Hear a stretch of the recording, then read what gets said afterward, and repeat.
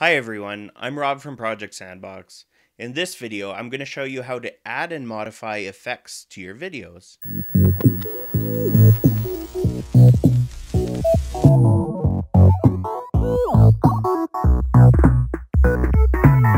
So the first thing that you want to do to add or modify an effect to your video is to have a look at the effects panel.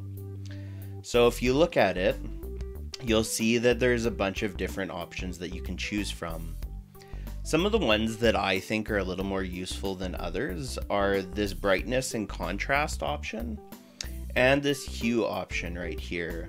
Some of the other ones offer a little more uh, specialized usages like blurring or pixelating or adding waves. They're just not commonly used for a lot of your purposes.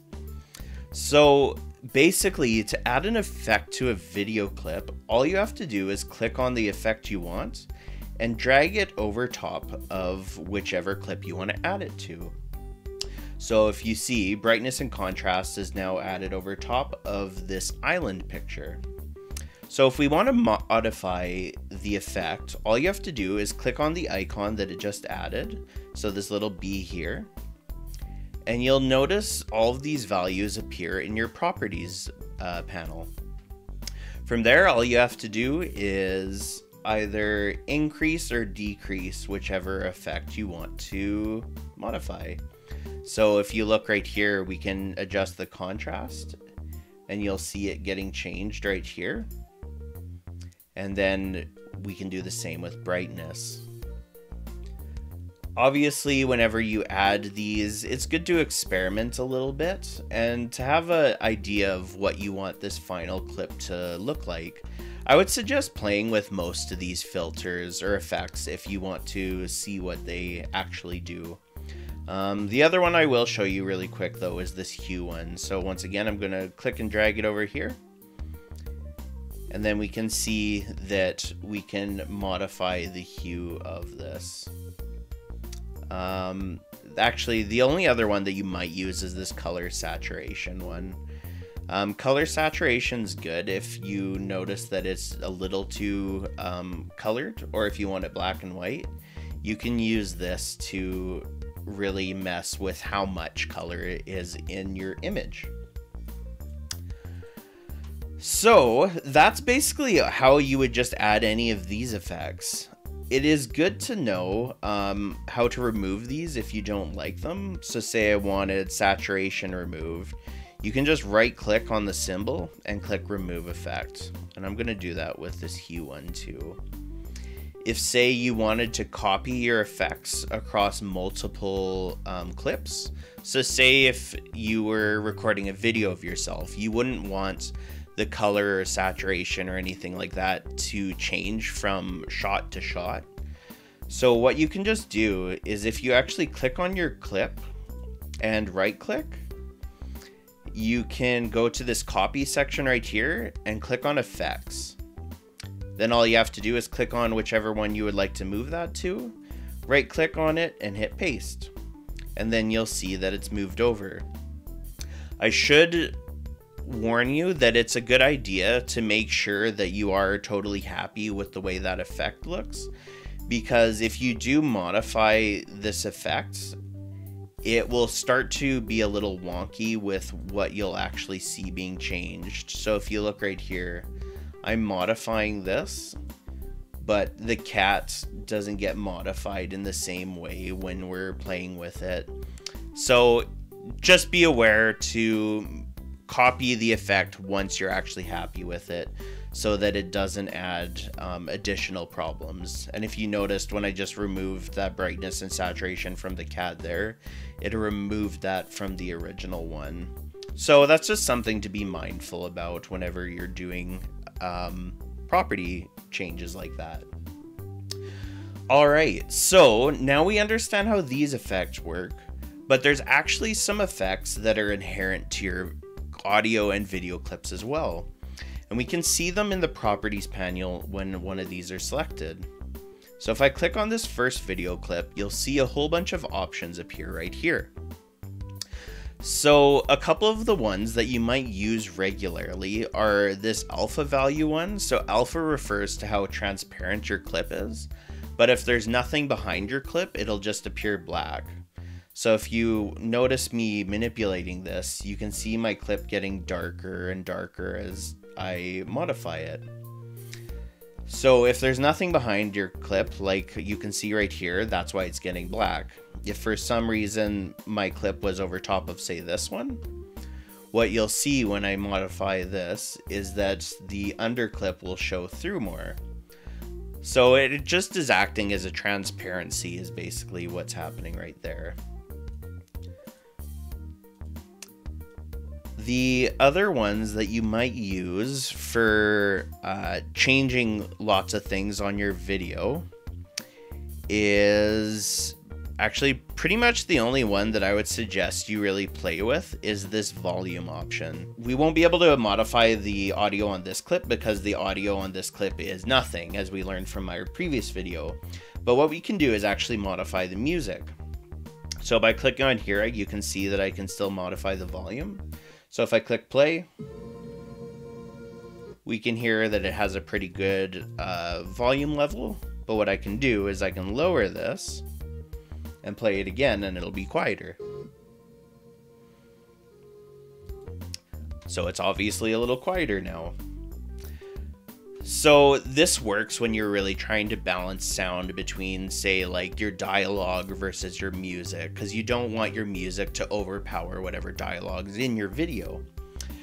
But what this can also do is it can uh, help you do kind of fade ins with music or fade outs and stuff like that. Same can happen with this. So, to do these types of fade ins and fade outs, we have to learn about a concept called keyframes. So, what a keyframe is is basically is you're saying in your timeline this specific time is important, which is a keyframe. That's why they call it a keyframe obviously, because this one frame of your footage is an important frame to reference. So, what you can do with keyframes is you can say, at this point of time, I want my video to look like this, and then at this point in time, I want my video to be like this. So, let's use the music to show what that looks like. So, what I'm going to do is we're going to create a keyframe. So at the beginning of this clip, I want the audio to be nothing. And you'll notice this box appeared right here. So now when I play this, we can see that no sound actually happens. And we can see that this is highlighted green at the beginning. So this is our first keyframe. What I can do now is I can move my playhead over here. And now I want the uh, volume to say I want it to remain quiet for one second. So that's more or less one second right here. So what I want to do to make sure that it stays quiet for that amount of time is I want to add a keyframe here. So to add a keyframe here, with this selected, I want to right click on the volume option and say insert keyframe. So now from this keyframe all the way to this keyframe, we know that it should be quiet. There we go. So now it's quiet from zero seconds to one second. Now at two seconds, I want it to be at full volume. So if we move this over just to where this says two seconds, now right here, I can actually just increase this and it'll automatically add a keyframe for me. And you can see that it added a keyframe because you can see these little ticks are getting added down here. So now when I play it, it's going to be quiet from 0 seconds to 1 second. And then from 1 second to 2 seconds, it's going to increase from 0% loudness to 100% loudness. So let's try it out to make sure it worked properly. There we go. So you can see that it worked. So that's basically how keyframes work. Is it saying at this point in time, I want it to look like this, and at this point in time, I want it to look like this. So the reason why we had to add this in between keyframe is because if I would have just said 0% down here and 100% here, it just would have had a more gradual increase in loudness. So I need to make sure that I specify this keyframe here. Something we could have done to modify this and not add so many keyframes though, is I could have just left out that first keyframe and just put 0% here because what it would say is from here to here is it still saying that it should have no volume. Um, if you ever do want to modify, say, these keyframes in the future, like say you wanted this one to be at 50% uh, loudness and not 100%, you would just need to search for it on the track to where this actually turns green. So if you hit left or right with your arrow keys, that's a good way to just advance the video clip by one frame. So if we move over here, you can see that this turns green as I go over top of the uh, keyframe that we just created. I'll zoom in really close so you get a better look at it. And then what you can do is you can just modify that to whatever you want if say you were one frame off, it would mess with your keyframes and it wouldn't work properly. So if you look, I have two keyframes really close together now. And then this one keyframe basically gets written off because this other one is just saying that it's the max loudness at the frame afterwards, so it wouldn't really work properly. So just be mindful of doubling up keyframes like that because it'll mess with what you actually want.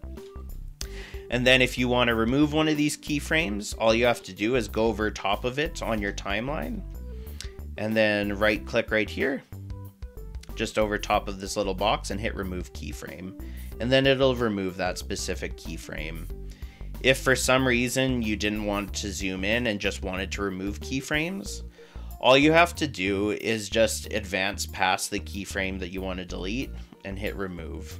And then, oh, sorry. Don't do it that way. That way is going to totally delete your footage. You want to go here, right click and hit remove. And then if you notice that keyframe just deleted. So that's basically all you need to know for keyframes keep in mind that you can change any of these properties in this way, and that includes any of these uh, effects that you put over top of your video footage. So say here, I added the brightness and contrast. We can click on brightness and contrast here, and I can move my playhead over here. And then I can say at this point, I want it to be 100% brightness and if you notice, it did add a keyframe when I did that right there. And then at this point, bringing that up again, I can say I want it at 0% brightness, which equates to negative one right here. And then that's how my video footage will actually look. So play around with keyframes and experiment with what your footage might look like. Keyframes are a good way to add animation to your different video clips. So say you can modify the scale of things, like moving to this cat picture. Um, say I didn't want those black bars on the cat, we could go to scale and scale it up. That doesn't work that way, so we'll have to do it manually, which is sometimes what you have to do. You can just double click on it to add it manually. And so I just made it 1.5 times bigger that way and just to keep the scale appropriate, we would do the same that way. But what you can do when you do that is if you notice, there'll be a nice little increase. So please feel free to experiment with any of these different properties and keyframes, because that's basically how you'll be creating animation in your videos. So that's what I have for you for this video. Thank you very much for watching it, and I hope that this helps kind of demystify how keyframes and video animation works a little bit. Um, if you have any questions, you know where to get a hold of me. Thank you very much, and I'll see you in the next video.